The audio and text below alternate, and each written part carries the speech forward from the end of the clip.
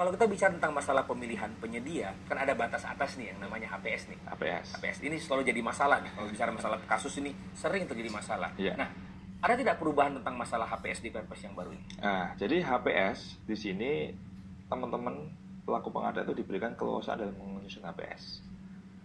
Kebebasan? Ya, jadi sumber-sumbernya yang digunakan untuk menyusun HPS itu best practice di lapangan silahkan digunakan selama nggak ada lagi dong. Nggak ada lagi kata-kata bahwa kontrak sejenis, kemudian apalagi engineering estimate, kemudian BPS. apalagi ya semua itu nggak ada lagi kata. Nggak ada lagi, Pak. Terus dasarnya sekarang apa? Dasarnya adalah best practices di lapangannya seperti apa? Sumbernya dari, dari mana? Silahkan saja mencari sumber yang bisa dipercaya dan bisa digunakan untuk Berarti keywordnya ini adalah apa pun sumbernya selama datanya dapat dipertanggungjawabkan. Itu itu keywordnya ya. Iya. Kemudian eh, apakah masih ada keuntungan? Nah, ini ini yang Yang dulu kan katanya harus ada 15% Nah, maksimal keuntungan.